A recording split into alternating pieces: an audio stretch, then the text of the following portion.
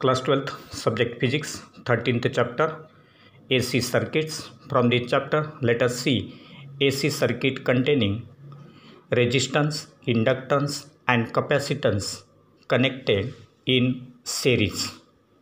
So let us consider a pure inductor L an ideal capacitor C and a pure resistance R R connected in series with an alternating source of EMF E. As L, C and R, all the three components are connected in series. Therefore, the current flowing through all the components L, C, R has same amplitude and phase. Let I be the current flowing through all these three components L, C, R which will be given as i is equal to i0 sine omega t equation number 1 so this first equation i is equal to i0 sine omega t will represent the current flowing through that LCR circuit. Now the voltage across each component has different phase relationship with the current. So if you consider the voltages across L, C and R then the phase relationship between current and these voltages will be different and therefore already we have studied that AC voltage applied to a pure resistor or inductor or capacitor. So if you consider purely resistive circuit, both current and EMF are in the same phase that is phase difference between them is equal to 0. For this inductive circuit the EMF across that inductor leads the current by a phase angle of pi by 2 or 90 degree while in case of purely capacitive circuit the current leads the EMF by a phase angle of pi by 2 radian or 90 degree and therefore the voltages across all the three components L, C and R in terms of current I will be written as voltage across resistor ER equal to IR, voltage across inductor EL is equal to IXL and voltage across capacitor EC is equal to IXC.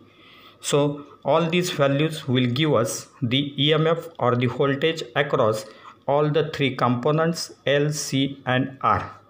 Now if you consider the phasor diagram for this series LCR circuit then in this case as there is no phase difference between current and resistor that is current and EMF here in case of purely resistive circuit therefore the ER that is EMF across the resistor and the current will lie along the same line that is positive direction of x-axis. In case of inductor, as there is phase difference of pi by 2 radian between the current and the EMF and therefore this will represent the phasor diagram for inductive circuit. Similarly, again in case of capacitive circuit, the EMF and current are shown here and in which there is a phase angle of again pi by 2 or radian or 90 degree and therefore from this figure it is clear that as there is EMF across inductor is leading the current by a phase angle of pi by 2. Similarly, in case of capacitive circuit, the EMF lags behind the current by a phase difference of pi by 2. Therefore, between EL and EC that is EMF across inductor and EMF across capacitor there will be a phase angle of 180 degree that is they are oppositely directed and therefore effective reactance will be EL minus EC as EL is greater than EC and therefore we can say that let EL is greater than EC and therefore now here we will have to consider the rectangle OAKB dash. That is O A K B dash. Instead of B we will consider it as B dash. Because OB will represent EL OC will represent EC and then this side OB dash will be equal to EL minus EC EL minus EC that is the effective reactance of this series LCR circuit. And this OB dash will be same as that of this AK as it is opposite side for that rectangle. And therefore for this rectangle we have to use now Pythagoras theorem for this triangle. And therefore from this triangle this will be the diagonal of that rectangle and therefore from this right angle triangle we can write it so from rectangle OAKB dash we can write OK is equal to square root of OA square plus OB dash square. So this OK will be equal to square root of OA square plus this K square that is nothing but OB dash square. Now putting the values of all these terms we can write E0 equal to because OK OK that is equal to E0 then this OA will be equal to ER and this AK will be equal to OB dash that is EL minus EC and therefore we can write E0 equal to square root of ER square plus EL minus EC whole square. Now putting the values of ER, EL and EC from above equations we will get E0 equal to square root of i0 r square plus i0 xl minus i0 xc whole square. Instead of i it is replaced by i0 that is peak value of current and therefore taking i0 out of this square root that is i0 square i0 square i0 square. So its square root will be taken as i0 and then root of r square plus xl minus xc whole square. So it is the value of e0 and therefore we can write e0 upon i0 will be equal to square root of r square plus xl minus xc whole square let it be equal to z equation number 2 now comparing this equation number 2 that is e0 upon i0 equal to square root of r square plus xl minus xc whole square. If you compare this equation with ohm's law that is phi by i will be equal to r. And therefore this term that is square root of r square plus xl minus xc square will represent the total opposition to the flow of current through that LCR series circuit. And therefore as it is the opposition to the current it will be considered as the effective resistance. And in case of series LCR circuit this will be called as impedance Z impedance of the circuit that is the total opposition to the flow of current offered by the series LCR circuit and which is the impedance of that circuit Z and then it is similar to that of resistance therefore its SI unit will be ohm. But if you consider the reciprocal of this impedance that is 1 by Z then it is called as admittance and its SI unit will be ohm inverse or it is also called as Siemens. Ohm inverse or Siemens.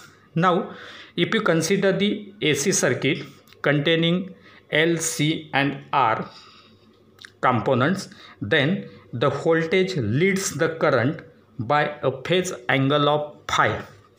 So in case of this phasor diagram, we have shown that it is I0 that will be the total current in that series LCR circuit. This will be the EMF and therefore in case of series LCR circuit this EMF E0 will lead a phase by a phase angle of phi with this current. So there will be a phase difference between the current and EMF for this series LCR circuit that is equal to phi. And therefore from this phasor diagram we can write the expression for tan phi. So tan will be equal to opposite side upon adjacent side. It will be written as AK upon OA. So AK upon OA but AK is equal to OB dash and therefore we can write OB dash upon OA. This will be written as in terms of values EL minus EC upon ER. So this will be EL minus EC. This is ER. Therefore it will be written. Then further it will be written as I0 XL minus I0 XC upon I0R. Taking common I0 it will get cancelled with this and therefore we will get tan phi will be equal to XL minus XC upon R.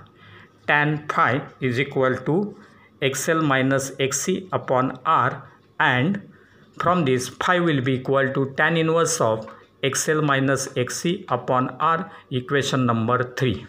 So this equation will give us the phase difference between the current and EMF for series LCR circuit. So in case of series LCR circuit, the phase difference that is phase angle between all the components for all the components in between current and EMF will be given as phi is equal to tan inverse of XL minus XC upon R.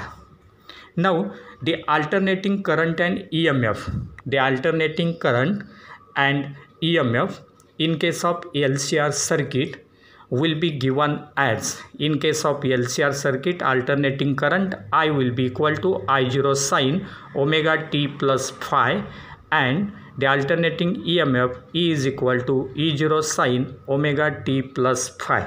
So these are the expressions for alternating current and alternating voltage in case of series LCR circuit. Now let us see some of the cases here from this equation number 3 that is phi is equal to tan inverse of xl minus xc upon r.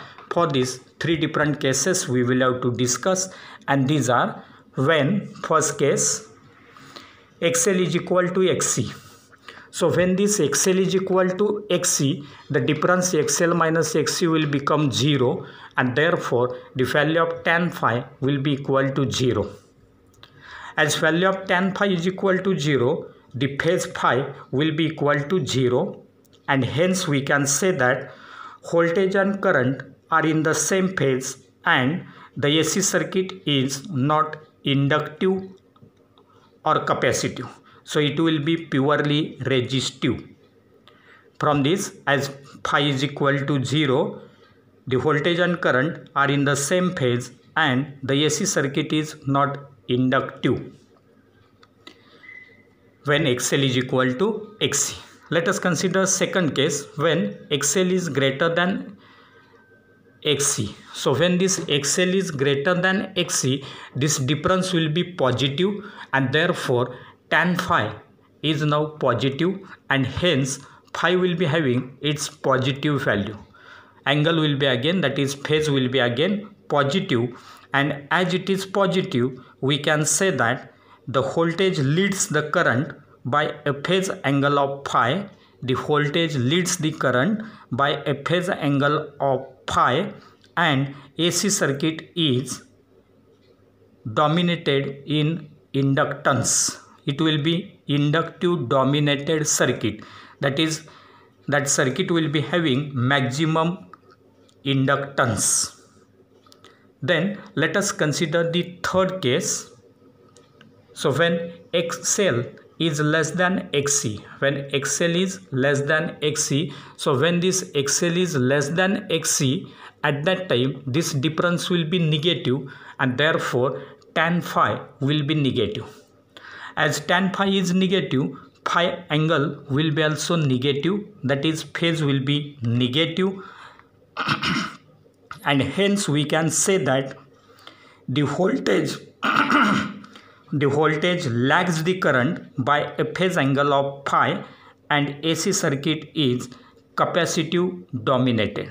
So in the third case it will be capacitive dominated circuit because there is again the phase difference between current and voltage and in this case the voltage lags behind the current by a phase angle of phi and therefore it will be capacitive dominated and now for LCR circuit from the phasor diagram we have for this LCR circuit for this LCR circuit from the phasor diagram we have three phasors which are given as ER equal to I0R, EL is equal to I0XL and this EC will be equal to I0XC and therefore these phasors will be represented like this by this triangle. So this OA part will represent R that is resistance R. This AK will represent XL minus XC that is effective reactance of that series LCR circuit and then this OK will represent the impedance Z.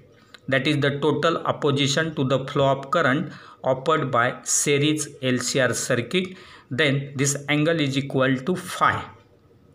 And therefore we can write from this figure Z will be equal to that diagonal of that triangle. Z will be equal to square root of r square plus xl minus xc square. So this z will be equal to square root of r square plus xl minus xc square and the tan phi will be equal to tan of this angle phi will be equal to xl minus xc upon r. So tan phi is equal to xl minus xc upon r.